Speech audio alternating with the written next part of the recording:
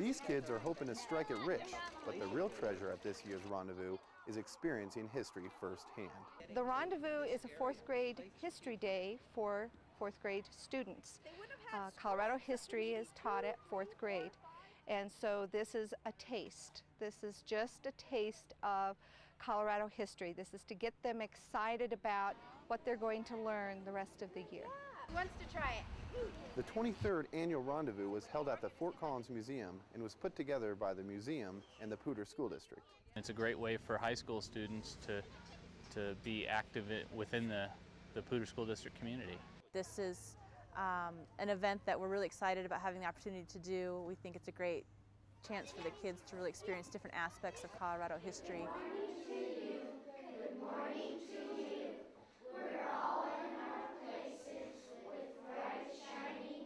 When Rendezvous began, we would get, you know, at first there were maybe two or three hundred students. Between today and tomorrow, we will have 1,318 kids, which is pretty exciting. So we're reaching a lot more kids. Rendezvous brings historical characters to life, I'm dressed up as a conductor. Common soldier of the Civil War. My name is Flying Fawn. I am the Broken Butt, and I am their mountain man in residence. and allows kids to experience history such as visiting a Civil War camp. Okay, I want you to all stand up real straight because this is drill time. Okay, when I say right face, you're all going to turn right. Okay, ready? Right face. There you go. Good job. Turn. We are portraying the common soldier of the Civil War. I hope that they will get a better sense of what the life of a soldier was like uh, during the Civil War. I hope that they get a better sense of what life was like during the Civil War. I hope that it piques their interest uh, in history so that they will want to know more. And they'll get excited about history and ultimately excited about learning, and so that they will uh, be lifelong learners. Once the bell rings, kids move to the next historical adventure, such as listening to a train conductor talk about the great railroads of the past.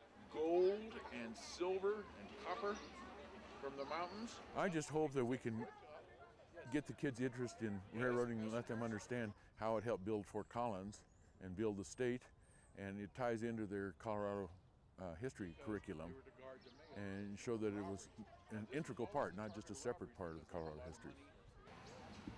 Kids go from catching trains to catching cattle, with a few pointers from a real Colorado rancher. You can keep your loop open all the kids today are so far removed from this lifestyle that, you know, when we were growing up, most of us had a grandparent or an aunt and uncle that really still lived on a farm or a ranch. And the kids today don't have that. They're like twice removed from anybody in agriculture, and so they uh, they have no idea what goes on behind, you know, raising their food and and how things get in the grocery store. And so for somebody who's in the business to come and talk to them kind of makes it more real for them, I think. How much today does an ounce of gold cost? Do you After roping cattle, kids can try their luck in panning for gold.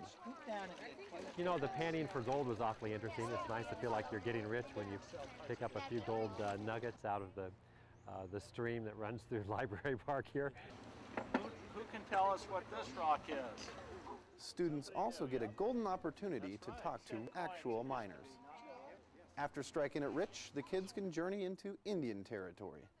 I talk about uh, what Plains, uh, some of the activities of Plains Indians.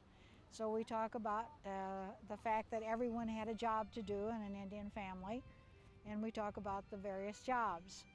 And of course, I, I have more fun explaining that the men had two main jobs. They did the hunting and they protected their family, and the women did everything else. So then I get to demonstrate a lot of these things. I liked um, the games that we did. We all got in a circle, and then there was a hawk and a rattlesnake, and the hawk was blindfolded, and they had to try to catch the rattlesnake. Other stops at the rendezvous include going back to school in a one-room schoolhouse, learning how to pack a covered wagon, building old-time furniture, listening to an old fort soldier, and talking to a mountain man. Of course, the rendezvous wouldn't be complete without a little song and dance. You know, There's a lot of stuff we do in the classroom they're going to forget, but field trips, they don't forget them. Especially when it's something where they can dress up and get their hands dirty and learn some stuff. It's pretty cool. Yeah, like that. Kids not only leave with their hands dirty, but a new appreciation of Colorado history. We're learning about um, Colorado history in the old days and how they used to get around and how they did without technology. Rendezvous not only makes learning history fun, but it also will be remembered for a long time. I have done this every year for about 20 years, and it's been fun. I've enjoyed it every step of the way. I didn't realize how long I'd been doing it until a mom came with one of her kids into my shop. I have a black powder shop here in town to buy a few feathers and beads to make an outfit for this rendezvous. And she told me she remembered when I was the mountain man when she was at the fourth grade rendezvous. As we were talking to some of the high school students uh, last year, we asked them, what do you remember about your elementary years? And they said the rendezvous.